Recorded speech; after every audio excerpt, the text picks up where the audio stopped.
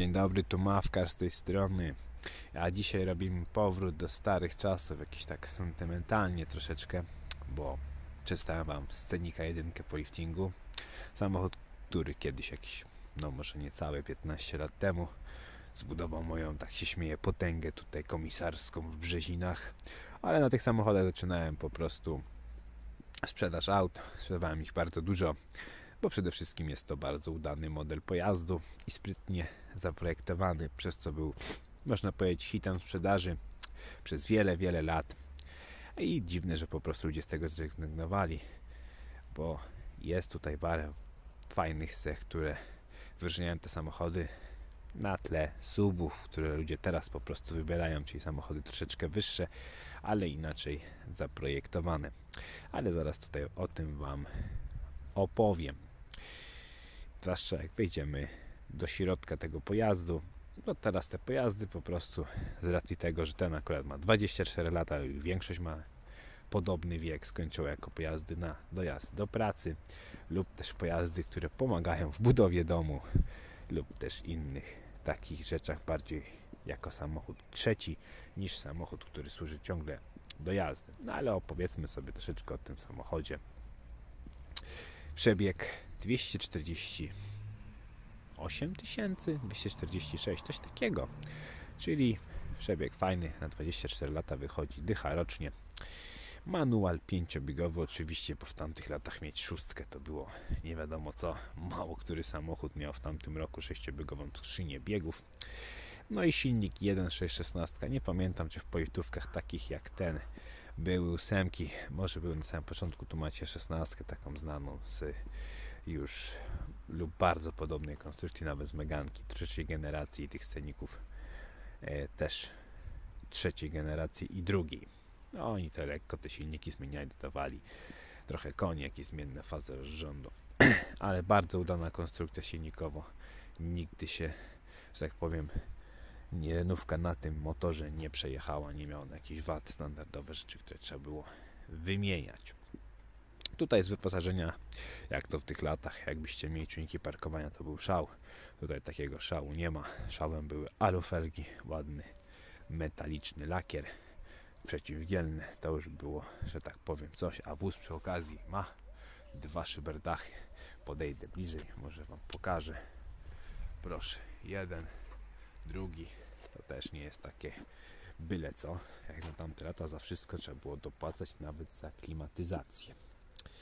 Jeszcze warto myśleć, że wydaje się, że wspomnieć o tym, że wóz jest bezwypadkowy. Tak dla zgrywu sobie po prostu go zmierzyłem miernikiem lakieru, bo mówię, to już ma minimalne znaczenie przy 24-letnim sceniku, ale jest w oryginale ten wóz. Aż nietypowe, jakieś ewentualnie mógł mieć poprawki lakiernicze, ale wszędzie jest około 120 mikronów.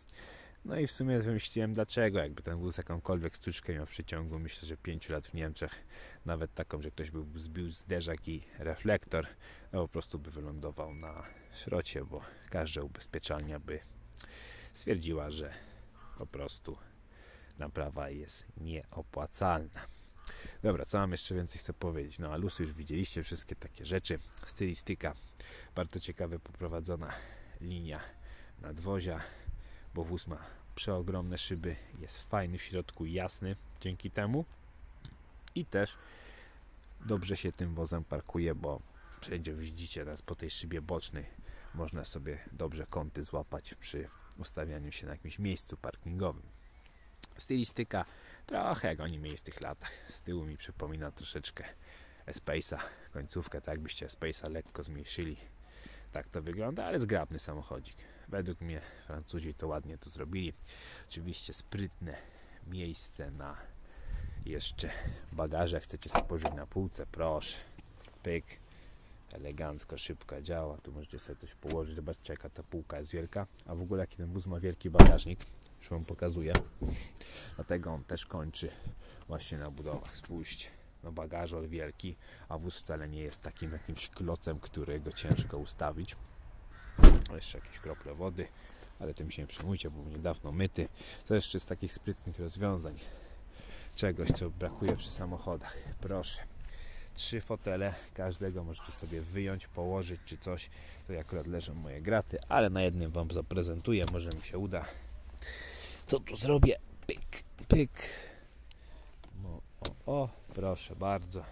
Ładnie się położył i możecie sobie go tu przesunąć całego wyjąć mi z miejsca i zobaczcie też jak fajnie zaprojektowali miejsce na pasy. Nie walają się Wam. Możecie je sobie odpiąć, schować z tyłu.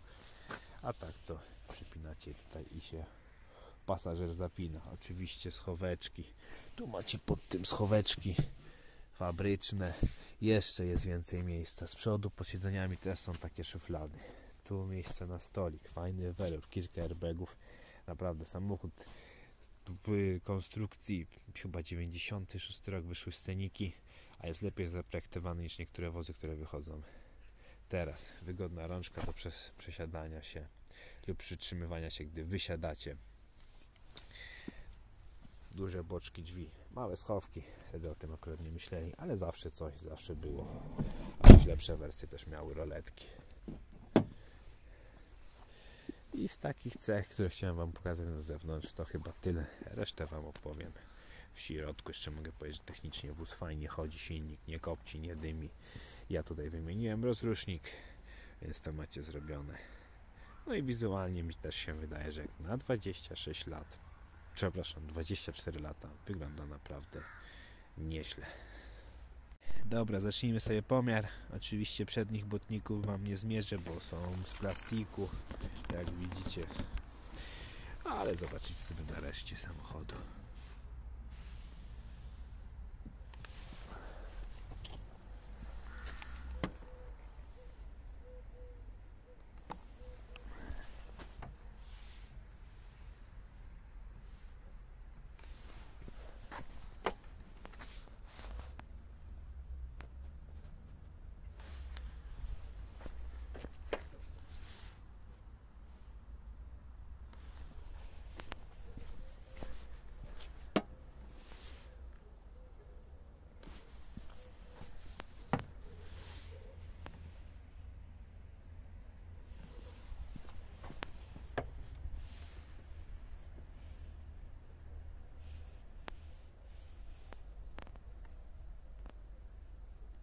Dobra, nagrywamy wnętrze. Papierologi do, nie, do niego nie mam. Pod maską macie jakieś kartki od oleju. Olej chyba niedawno wymieniony.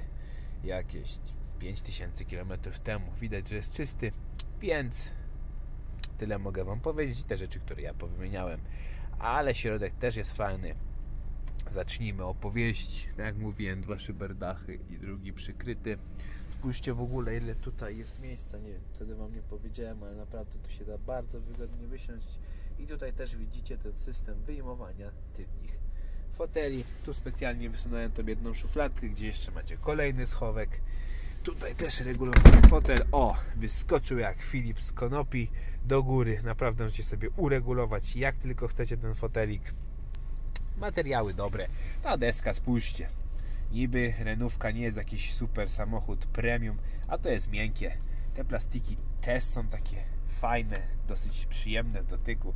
Sprytnie wymyślili dwa schowki, nie są może za wielkie, ale proszę, tutaj możemy szpargałki wrzucić. Tu macie dopiero airbaga, a tutaj macie trzeci węższy schowek.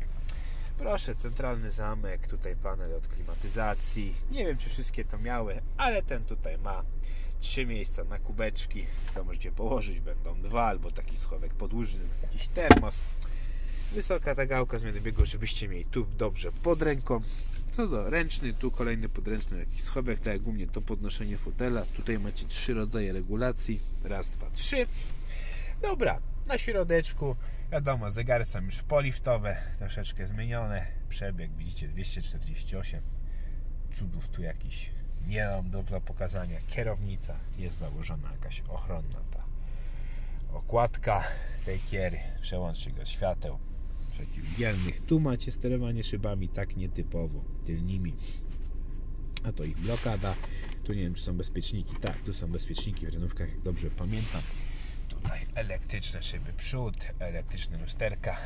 Taki ich tutaj ulubiony kształt tego. No i co, mój fotel.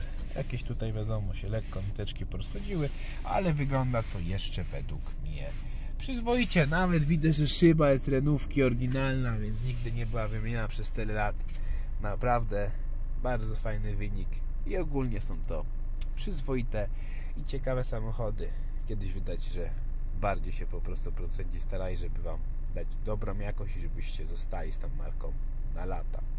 O wozie to tyle. Jeżeli film Wam się podobał, zostawcie łapkę w górę, dajcie subskrypcję. Macie pytania, to komentarz lub ewentualnie jakieś sugestie. Tak samo możecie zostawić je pod filmem lub w mediach społecznościowych, czyli Mawkar Auto na Instagramie czy też na Facebooku. No i pamiętajcie, że każde auto u mnie jest opłacone. Akurat do tego auta nie mogę wystawić gwarancji, bo jest powyżej 20 lat, ale myślę, że mało osób z tej opcji korzysta przy tak tanich samochodach, bo jest to dość duży procent wartości takiego pojazdu. Nie macie jak auto dostarczyć do domu, w rozsądnych pieniądzach dołożę go na lawecie. A jeżeli samochód z ogłoszenia się sprzeda, możecie sprawdzić, czy mam coś podobnego w ofercie na mawkarotomoto.pl lub też do mnie napisać i może Wam coś znajdę podobnego na zamówienie. No a jeszcze na koniec widzicie, licznik, nie ma żadnych błędów, silnik fajnie pracuje równo.